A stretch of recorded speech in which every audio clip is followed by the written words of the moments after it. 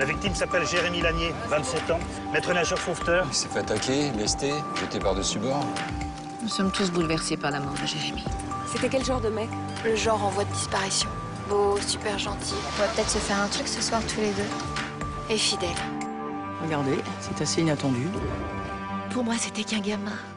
Vous saviez que votre mère avait une liaison avec Jérémy? C'est un truc de fou, j'arrive pas à y croire.